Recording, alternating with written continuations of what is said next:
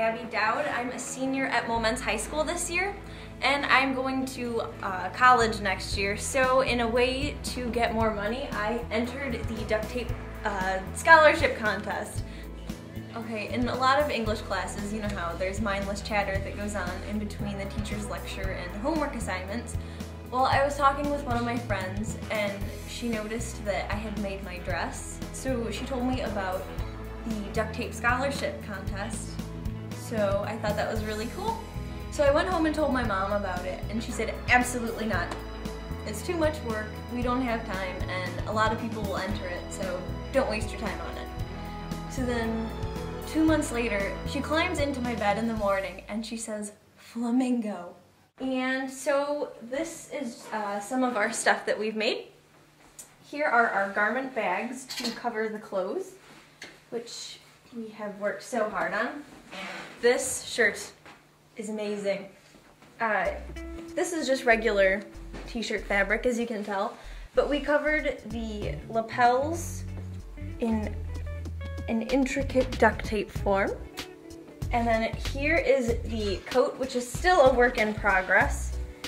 This has taken many hours of cutting and taping and taking off the tape.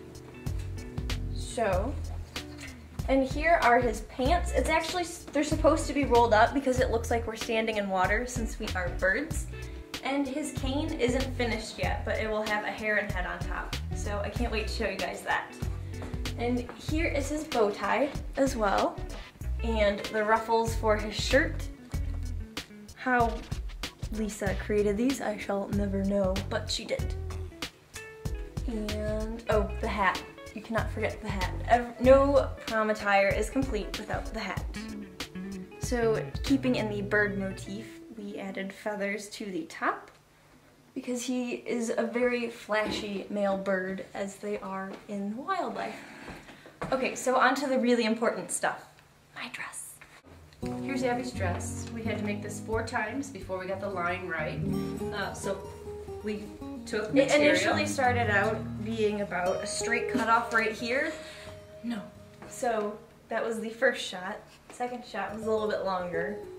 Yeah, this we drew out uh, our own pattern and then we laid material out, put the duct tape over the top of it, and then cut it out. And you cannot sew duct tape under sewing machine. No, so we found that out the hard way as we well. We had to sew this by hand. And then we started with the feathers. There's over 300 feathers in the neck. And this is paper mache. And this is gonna go on Abby, like so. And then this is the next section of the dress, which took a long time to figure out. How many hours of the 530 would you say this took up?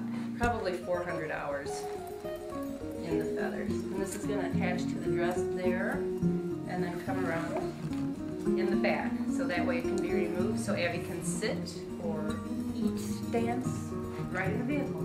Yes, the because duct tape removes very easily of that. Yeah, but They're independent feathers, like on a real bird. So, in keeping with the bird theme, we went for a seashell, which is tropical. And this is completely made out of duct tape, and it function is functional as well. Inside is made of duct tape as well. So, we are moving on to the shoes now. It's supposed to look like we're standing in water, so uh, here's waves on the top of the shoes. And then here is a water lily. I am covering my backpack in duct tape. So when people ask, I can tell them what it's for. My prom is May 3rd, and which is good because the contest is over in June. And then the top 10 competitors are chosen from a special panel of duct tape experts and then America gets to vote for the best prom wear. Hopefully they will think ours is. You have to make your prom wear completely out of duct tape, you and your date, and then you submit photos to the website. And then June 13th through the 29th, go to stuckatprom.com and vote for my prom clothes.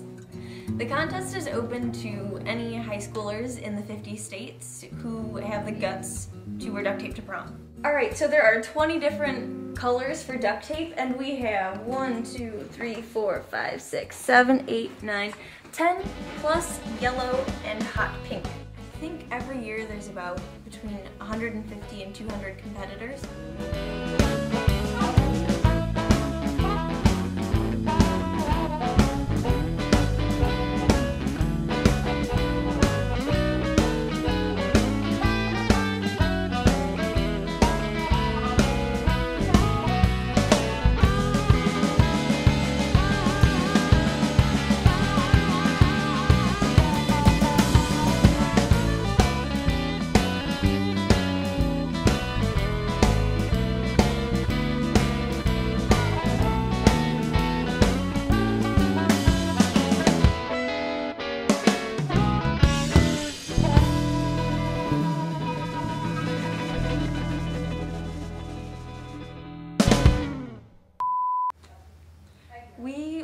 Watching VH1's 40 worst outfits, and my mom saw the Bjork swan dress, so that's where she got the idea to Hey, make. don't say that. What? You can't say the Bjork song. That's not where we got it. Cut that out. Yeah, that's probably- Things that Well, that's where you got it. Copywritten or something. We'll edit that out. Okay, but for your information, that's where